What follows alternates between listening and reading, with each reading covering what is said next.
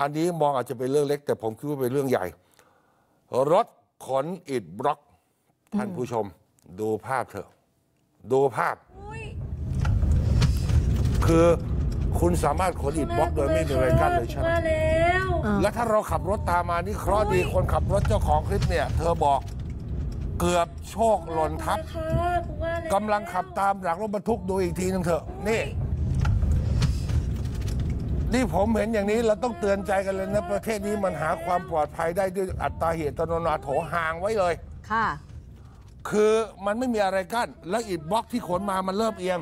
หลังจากนั้นมันก็ตกลงมาต่อหน้าต่อตาเลยนะคะ โชคดีค่ะ ที่ขับมาไม่เร็ว แล้วก็เว้นระยะห่างพอสมควรค่ะ คือคนโพสต์เนี่ยเขาบอกว่าเขาระวังตัวอยู่แล้วเขาก็เบรกทัน แล้วก็ไม่ถูกอิดบล็อกตกใส่รถค่ะ ครับ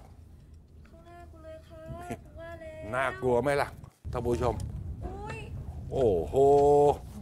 เราสามารถจะขนข้าวขนของกันแบบนี้ได้ใช่ไหม